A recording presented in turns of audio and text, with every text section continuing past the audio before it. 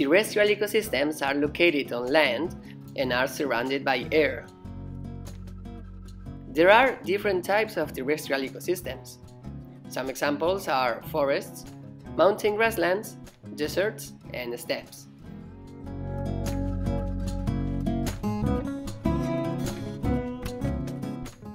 Forests are ecosystems with many trees. In forests, trees provide shelter and food for various animals, including birds, owls, and small mammals like squirrels and foxes. There are different types of forests depending on the climate.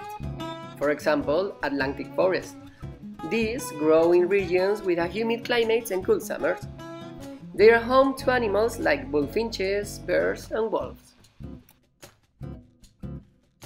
Also, there are the Mediterranean forests. These grow in regions with a dry climate and warm summers. They are home to animals like eagles, lynxes, and rabbits.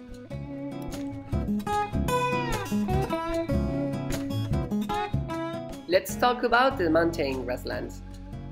Plants in the mountain grasslands are herbaceous, which means they have a soft and flexible stem these grasslands extend over large areas of fertile soil that can be used as pastures for cattle to graze.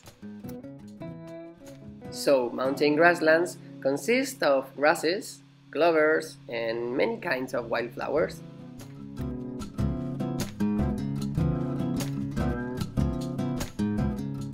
They grow in humid regions with cold winters. Mountain grasslands is a good place to live for animals like butterflies, grasshoppers, ladybirds, and deers.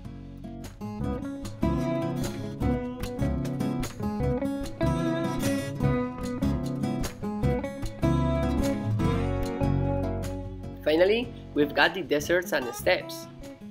They are found in very dry regions with extreme temperature. Living things in these ecosystems have adapted to these conditions.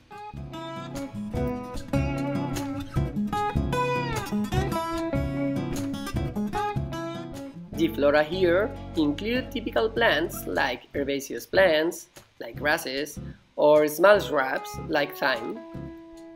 The fauna in deserts and steppes are animals like hares, mice, and lizards.